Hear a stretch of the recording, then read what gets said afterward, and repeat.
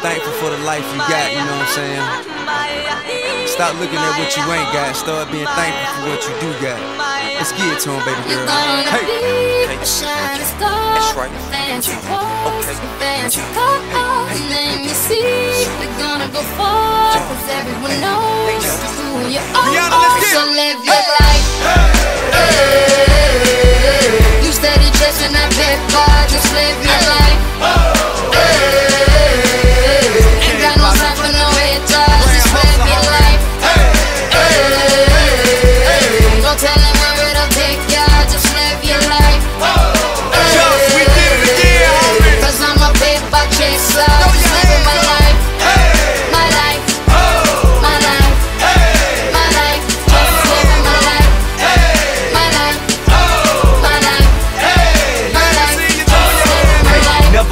haters say, ignore them till they fade away. Amazing they ungrateful after all the game I gave away. Safe to say I paved the way for you cats to get paid today. Still be wasting days away now had I never saved the day. Consider them my protege.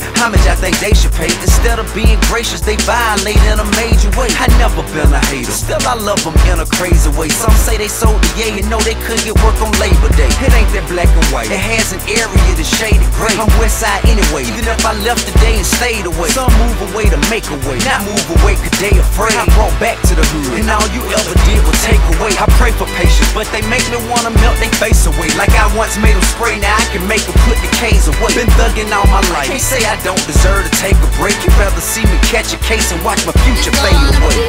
Okay.